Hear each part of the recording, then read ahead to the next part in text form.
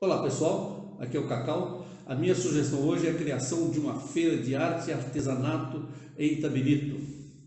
O local, Praça 1 de Maio. Isso mesmo.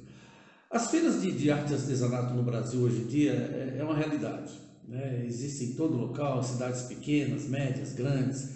É, eu morei em Goiânia duas vezes e eu vou usar a Goiânia como referência. Lá existem várias feiras, mas três eu vou, eu vou citar para vocês. Uma acontece no sábado à tarde, que é a Feira do Sol, é, no setor oeste, numa praça lá que eu não me lembro o nome agora.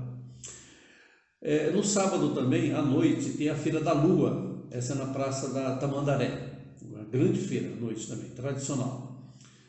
E a maior de todas é a Feira RIP, que acontece na rodoviária de Goiânia, na frente da rodoviária de Goiânia. A rodoviária de Goiânia hoje é um verdadeiro shopping, né?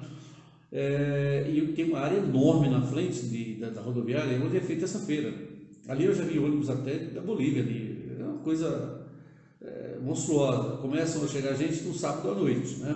E a feira é toda setorizada, tem o setor de calçados, vestuário, de, arte, de artes visuais, que ali você tem é, escultores, pintura em tela, gesso, madeira, porcelana, tem é, é bem, bem organizada essa feira. Né? E eu sugiro para Itabiri uma feira nesses modos. Ela é separada por setores, né, de preferência com, com os guarda-sóis, é, é, é, se você vê de um drone, né, é, cores diferentes, né, que seriam é, setores né, de alimentos, com doces, com potas, o outro de, de artesanato e tal. Né? Uma feira bem organizada ali na Praça 1 de Maio. Eu sugiro fechar a rua da Área Couto, que é ali ali na frente do mercado, do supermercado de Jaquiri, e aquela travessinha em frente à Caixa Econômica. Né? Quem precisar fazer os acessos tem que ir na Praça da Bandeira e pela rua Emílio Kitts. Né?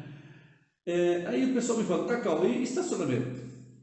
Poderia se a, a prefeitura poderia, disponibilizar o, estacionamento usamos os funcionários ali na frente, né, lá em cima. Né?